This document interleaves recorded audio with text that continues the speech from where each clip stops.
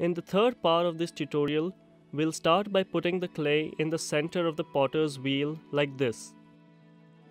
First, make sure that the clay is stable and then you can begin to shape it. Here, you can see that it's well centered since it's not moving. Wet your hands to maintain control of the clay. Always keep a bowl of water near you for wetting your hands and clay. To shape the clay, first we need to open the center. To do that, everything must be centered. This step requires practice. Choose the amount of clay you want to use. To center it on the wheel, first press it upward and then downward like this.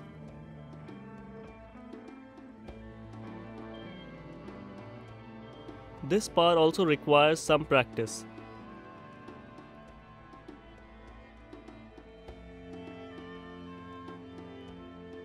Then use your thumbs to push in toward the center. The wheel's movement combined with the consistency of the clay will cause the center to open naturally, like this. This is called opening. Always keep your other fingers on the sides to maintain control of your clay. Now, by pressing one side between the index finger and thumb and maintaining a consistent movement like this, we can turn a thick bowl into a thin pot.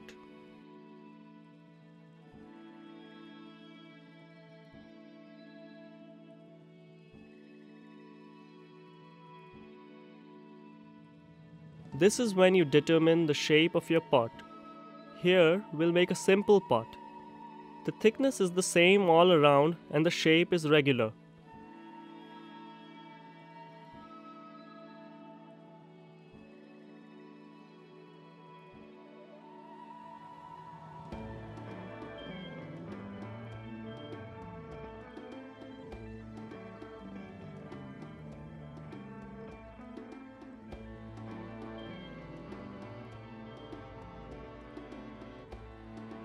You can also use this tool called a rib to make the outside shape more regular and correct mistakes like this.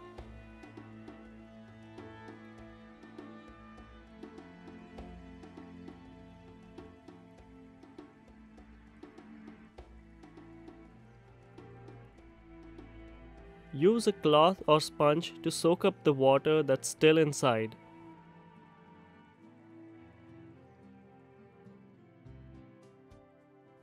This pot is pretty wide, but be careful not to touch the sides or it could break.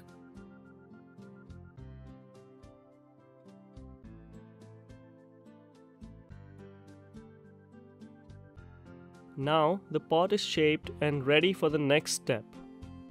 We need to cut it from the base. Be careful when placing your cut.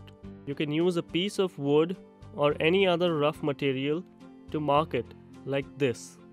For a straight cut, use wire to make quick cuts like this. Mastering this step takes practice, so be patient.